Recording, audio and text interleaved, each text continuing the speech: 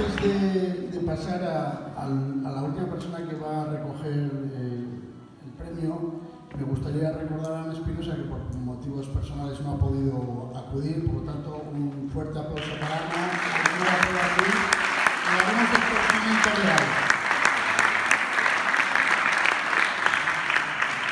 Y por último, eh, no sé si está por ahí. ¿Lorenzo? ¿Lorenzo? ¿Lorenzo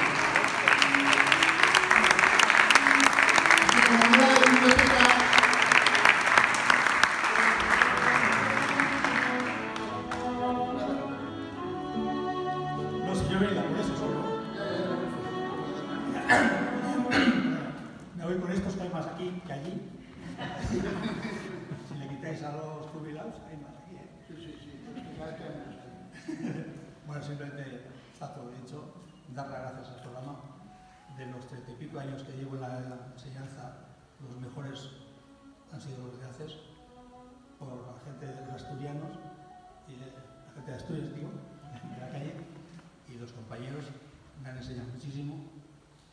Espero haber eh, conseguido lo que me han enseñado a mí, enseñarlo a los a chavales que han pasado por, por mi aula. Y simplemente gracias a todos. Y ya está.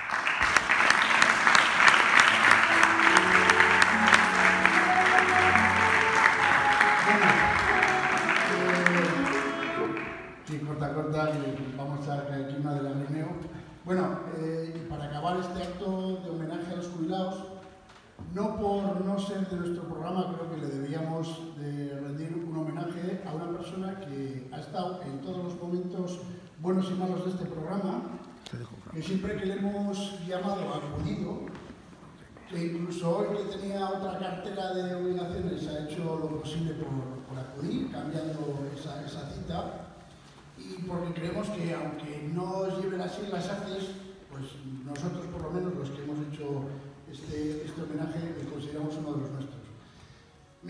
Carmilla, por favor.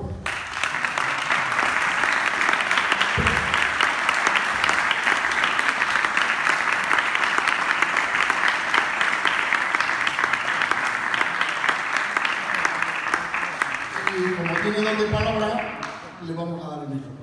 Bueno, precisamente hoy eh, no quiero hablar, iba a decir solo tres palabras. La primera, eh, muy sentida y grande, es eh, perdón por no haber eh, conseguido que aquí hoy haya mucha más gente de ACES, por no haber logrado que eh, la pasión que trasladáis, eh, quienes os jubiláis, quienes tenéis que seguir haciéndolo por la lectura, por el deporte, por, eh, eh, por las claves de lo que es la base de la educación, pues que este programa, agradeciendo también que, no obstante, pues quienes tuvieron que tomar las decisiones en cierta medida, pues lograron lo que lograron, pero es verdad que nos dejamos en el tintero mucho.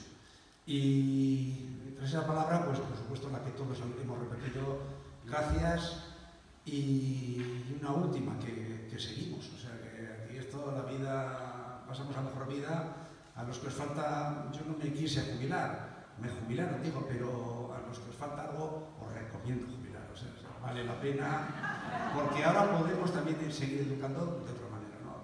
todos, a, a los vecinos y a seguir eh, colaborando. Beste